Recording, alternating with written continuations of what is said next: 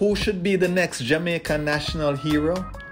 In this edition of Argument Done, we asked a few people that question. Bob Marley. Usain Bolt.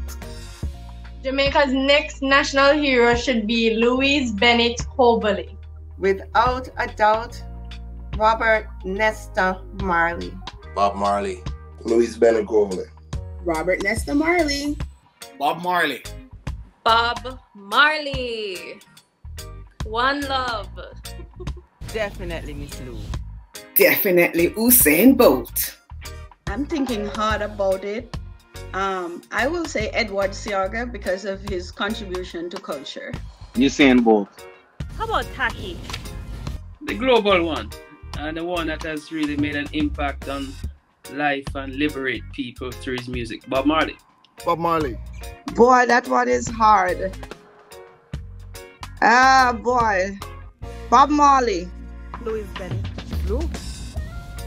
The next Jamaican national hero should be Miss Lou. It's been long enough. Them all crown Rihanna national hero, and Miss Lou has been standing in the wings forever. Uh, our cultural icon, Miss Lou, should be inducted in that Hall of Heroes. The Honorable Louise Bennett Coverley, aka Miss Lou. Usain Bolt. Did they get it right? Let us know what you think by commenting below. Show some love now. Hit that like button, subscribe to our channel, and hit that notification bell. That way you don't miss a video.